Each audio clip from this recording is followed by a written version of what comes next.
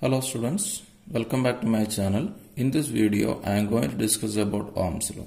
Okay, so what we studied, if a conductor we will be take,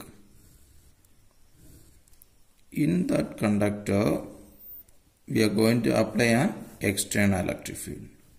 Okay, that means we are going to apply a external electric field. To produce an external electric field, there is a voltage source, there is a battery, we have to be connect. Okay, so if this battery is to be connected, what will be happen? There is a positive charges was to be there in this end and negative charges, so that there is a electric field is there.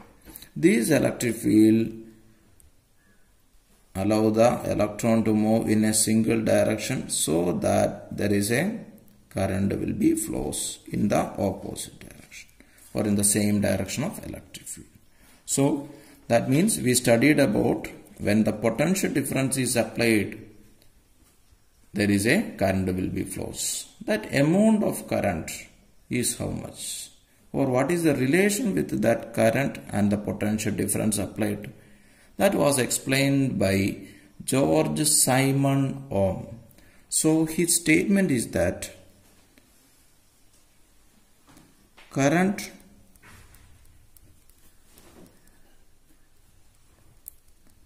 flowing through a conductor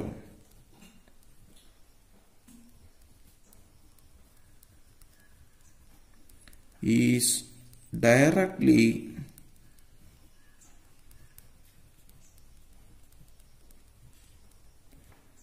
proportional to the potential difference across the conductor.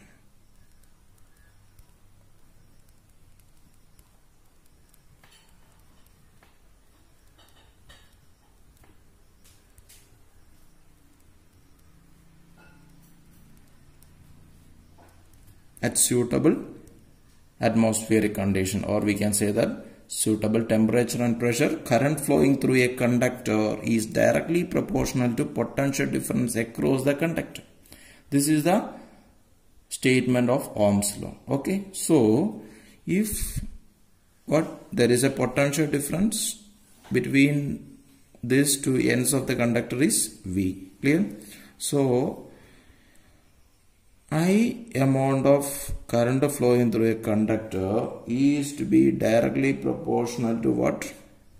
Potential difference. That means we are applied the potential difference across this conductor is V. That potential difference is directly proportional to current. That is I flowing through the conductor. Okay. Then V is we can be equate by using a by inserting a constant. That constant is R that R is called as the resistance of the conductor.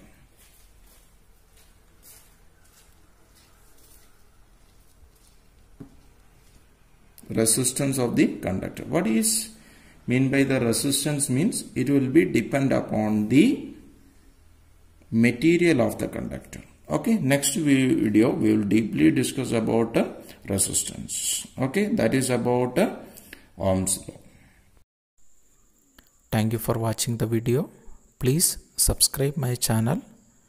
If you like this video, please put like